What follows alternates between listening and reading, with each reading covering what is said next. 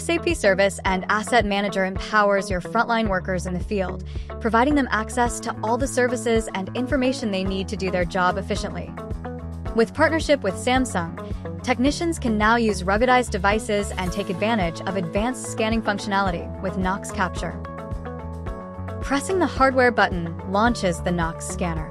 You can now scan the barcode or QR code and quickly bring up the asset details and related order information in the app without having to search for the order number or typing it in. Often, the technician needs to use multiple parts for the service, which need to be issued. Again, pressing the hardware key can bring up the scanner in multi-scan mode, allowing technician scan and issue all parts at once. As an inventory clerk using SAP Service and Asset Manager, the advanced multi-scanning with Knox Scanner can enable him to scan multiple items at once, thereby making goods issue and receipts quick and easy. That's Knox Capture in SAP Service and Asset Manager, enhancing worker productivity with advanced scanning.